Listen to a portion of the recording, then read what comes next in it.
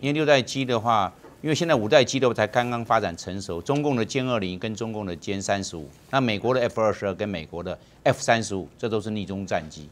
那是不是那第六代的话要比第五代要更强？嗯，有四个要不一样，但是我们可以知道，美国是出来钱的问题。我们先讲美国，美国空军当初的要求三家，一个就是诺斯洛普格鲁曼，另外一个洛克希德马丁公司，另外一个是波音公司，这三个公司来设计第六代战机，然后将来美国空军要选其中的一个，美国先拨这些研发的经费给这三家公司，大家来共同来来设计，但是问题是美国空军没钱了。刚才讲到的是，刚才讲的哨兵的弹道飞弹叫做义勇兵啊，对，那多少那个多少钱啊。最重要的，美国要订一百架逆中的 B 二十一、B 两幺的逆中轰炸机，一架就要七亿美元，你这一百架要七百亿美元。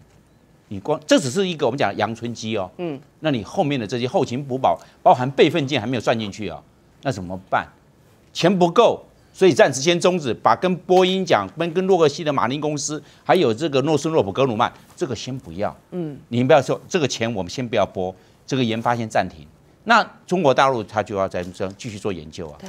那第六战机跟第五代战机在哪里？第一个超音速巡航大家是一样的，嗯，都会超音速巡航，油门不要开到最大后燃器，放在军用就超音速了，推力够大。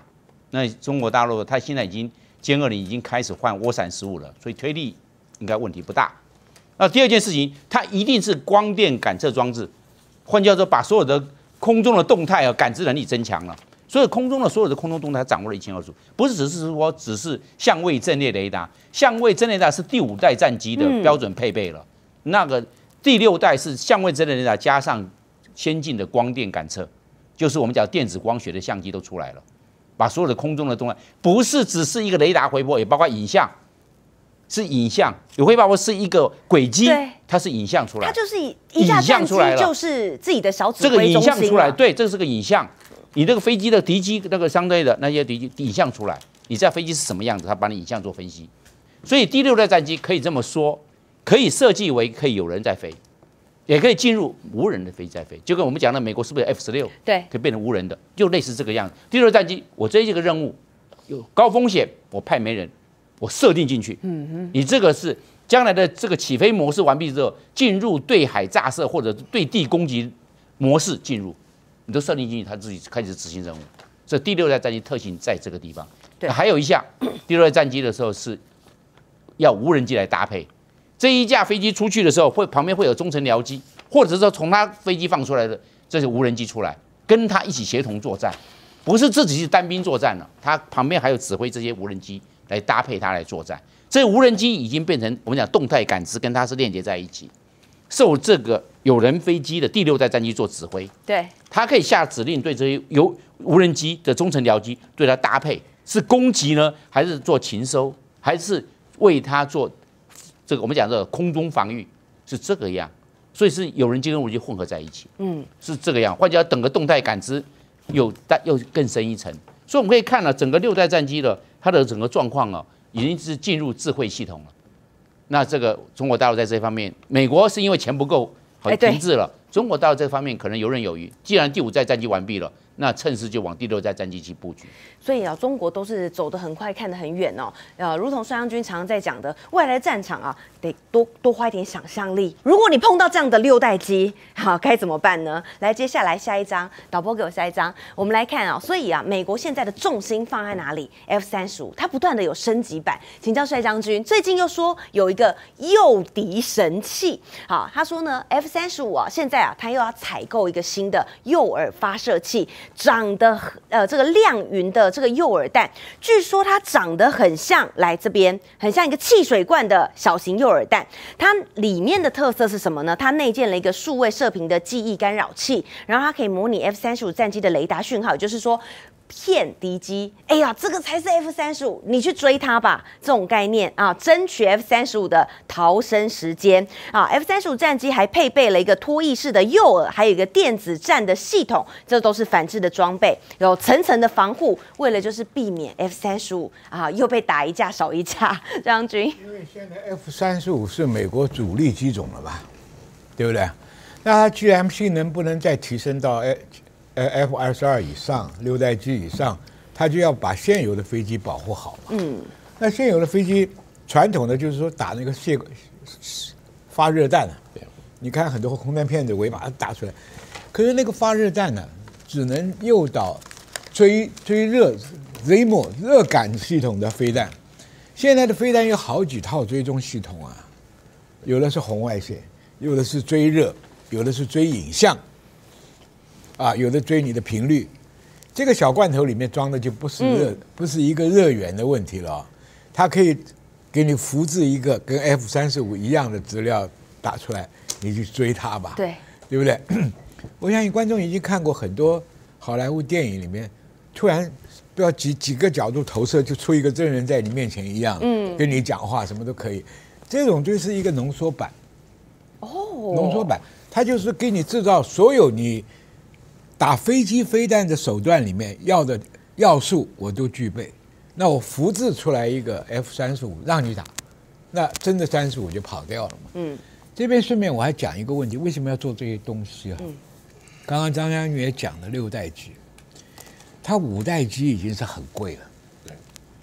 你像美国 F 二三为什么停产？太贵了。太贵。现在六代机初步估价三亿美金，也太贵了。作战呢，不一定完全是你高性能就主导战场啊。我常常跟你讲，战争一个是值，一个是量。我一个一一个对一打不过你，我二对一；二对一打不过你，三对一。现在为什么搞无人机？你知道吧？一架飞机，你不信你问张将军。除了有攻击敌人能力，还有保护自己能力。嗯，驾驶舱又有钢板，因为保护这个驾驶员不受受，要什么什么什么东西，很多防护性的。无人机就放弃了，对，拼命三郎打掉就算了，打掉就算了。他我再来多来几家，想尽办法来攻击你。是，所以未来战场上是不是六代机的天下不一定。哇，因为什么？我我带了这些忠诚僚机啊，我数量够啊，价钱便宜啊，现在。战场上很多趋势是这样子哦，很多你看印度也在搞氢弹车，胡塞组织。对胡塞组织。拿那些便宜的配一个小火箭就把那个海峡海峡就下的，所以我跟你讲，台湾常常讲非对称的，我跟你讲，非对称就要学这个叫非对称，不是说我们拿这个动员的兵拿来打这个 AK 步枪有非对称的，不是。非对称的关键就是说它的性价比是什么？你你像。打了刚开始，大家都在眼睛看几代机几代机，俄乌战场上是一五五大炮对呀，对不对？打回石器时代。因为战争形态变了嘛。嗯。所以这个这个问题哈，对大陆唯一的优势是，我做六代机也好，五代机，我的人工比你便宜，我的生产链比你便宜。美国现在是已经穷到说，刚刚研发出来一东西，一算成本放弃。对。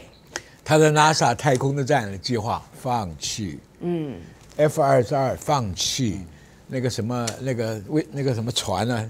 三三船苏瓦特舰，高科技放弃，放弃，没钱就不要谈了嘛，嗯，对不对？何况这个钱不是一条两条的问题啊，战争准备时候是要准备量哎，你们把二次大战的这个战史看看，飞机一天可以干掉一两三百架，对，嗯，对不对？俄乌战争一天可以。整个仗打下来，一万多辆，一万五千多辆坦克没有了，量啊！所以这个东西做一架没问题，试验一架也没问题，可是你要做出几百架、几千架，你就有问题了。对。所以为为什么美国没钱？他以前五千多发的核子飞弹都已经老了，七八十岁了。是啊。你要能用，要不要给他全身换装啊？对。那个钱你没有，你凭什么跟俄罗斯、跟中国大陆打这个核子平衡呢？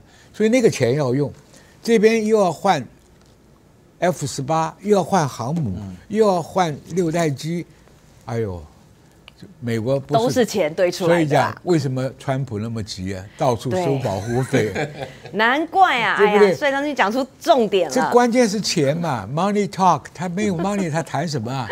所以贺锦丽就可以用他，你骂我，American happy again，我我也可以不搞这些了，把经济搞起来，大家 happy again，我才不怕人家骂我 happy again。大家都说我变漂亮了，其实是气色好。肌肤保湿做得好，气色自然漂亮。我选择 KS 皇家呵护芦荟保湿舒缓凝胶，因为它用国际芦荟协会认证高品质的库拉索芦荟，含有大量的粘多糖体，类似于玻尿酸，可以帮助锁住皮肤水分，让肌肤长时间保持水嫩。还运用 TTS 技术，增强芦荟的生物活性，修护舒缓日晒后的各种不适。KS 皇家呵护芦荟保湿舒缓凝胶，帮助您随时拥有水润肌、好气色。呵护您，呵护全家人，专属你的 KS Royal Care。